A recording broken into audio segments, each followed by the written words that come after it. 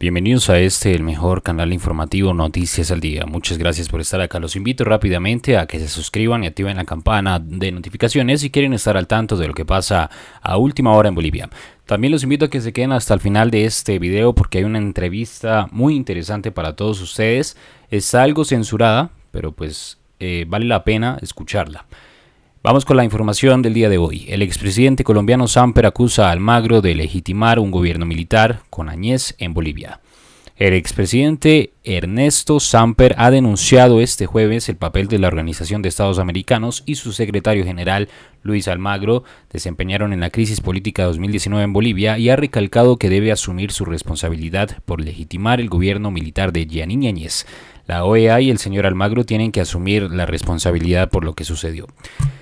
Ha demandado Samper, quien cree que gracias a esa denuncia de un supuesto fraude se legitimó la presencia de un gobierno militar liderado por Añez, quien durante un año ejerció una represión absolutamente desconocida en Bolivia. Samper ha señalado que esa represión nunca vista en Bolivia desde hace muchos años provocó incluso que el expresidente Evo Morales, quien se había impuesto en las urnas, tuviera que exiliarse para salvar su vida.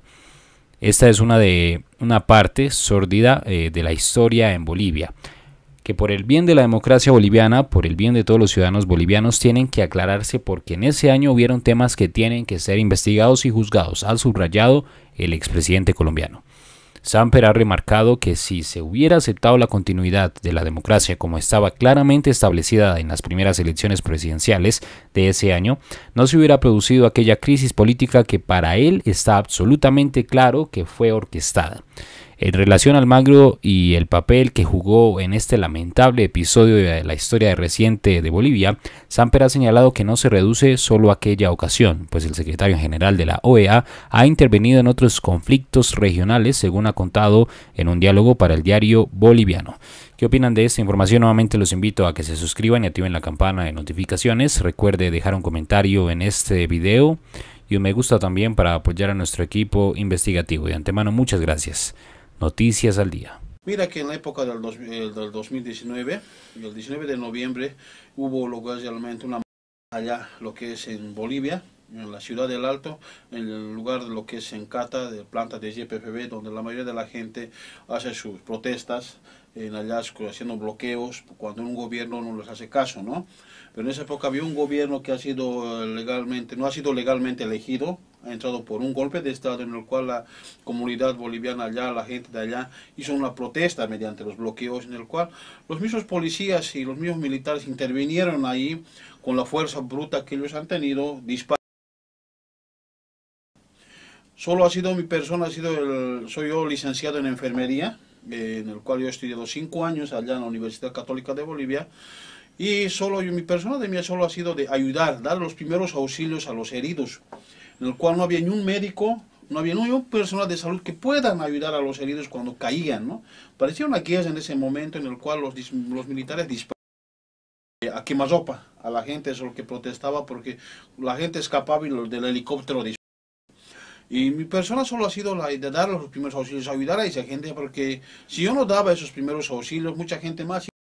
Tenemos una cosa de 38 personas fallecidas, pero eso vamos, basamos entre Cochabamba, Santa Cruz y La Paz, ¿no?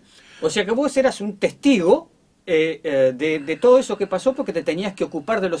Pero además fuiste víctima, o sea, hubo también represión contra ti. Sí, después de todo esto, al día siguiente yo fui lo que es a pedir las ayudas porque ya me ya salió las, las imágenes que me montaron a mí, que era un falso policía, un falso militar y un falso médico. Ya montaron las imágenes sobre mí. Y al día siguiente fui a pedir ayuda a lo que es a los derechos humanos, ¿no? lo que tenemos en La Paz, en el cual jamás me pudo ayudar, ni lo que es, eh, hablamos, tenemos instituciones allá que trabajan con los derechos humanos, no nos pudieron ayudar, no hicieron nada por mí.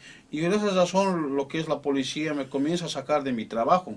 Yo fui a presentarme en mi trabajo, lo que es en la Caja Nacional allá, en el área quirófano. Yo me ahí se presentan en total tres personas, lo que es un teniente, eh, un capitán y un sargento. Solo me, me, llevan con instrucciones solo de ir a declarar.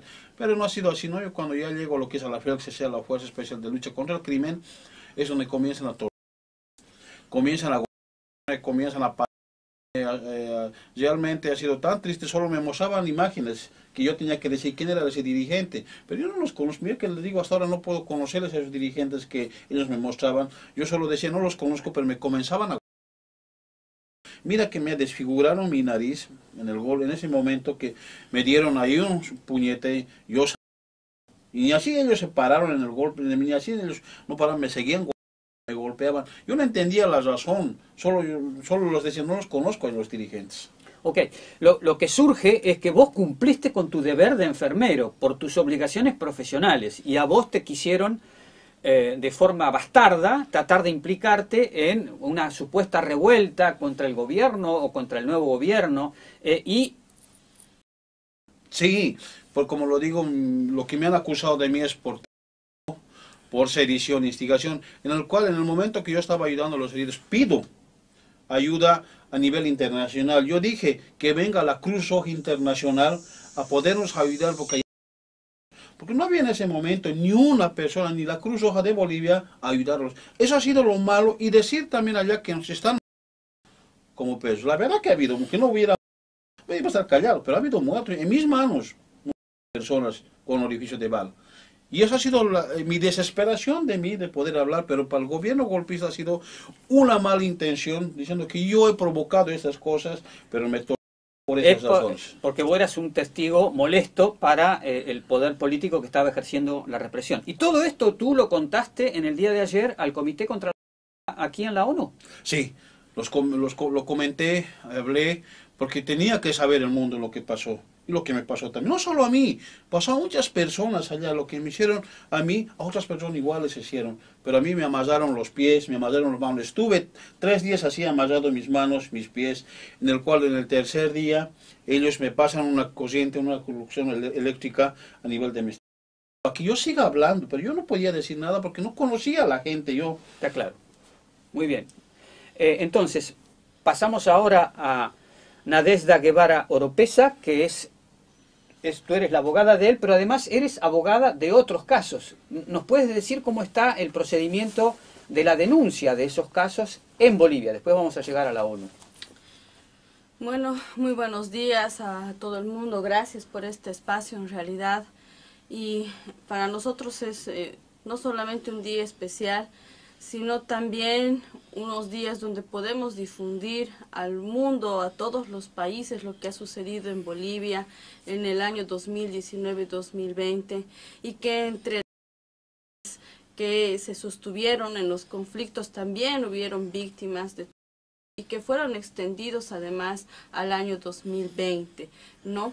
En ese sentido, nosotros hemos trabajado protocolos de Estambul en una institución llamada CEPRED en el año entre mayo y octubre del 2021, donde evacúan estos resultados, ¿no? Estos resultados en función de las secuelas físicas y psicológicas que tienen todas estas personas que ¿Cuántos son los, las personas? De tortura.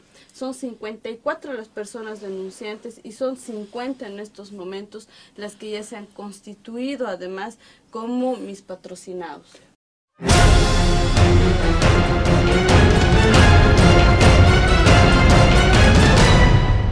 Si no te quieres perder de los últimos acontecimientos que pasan en el mundo, suscríbete y activa la campana. Somos Noticias al Día.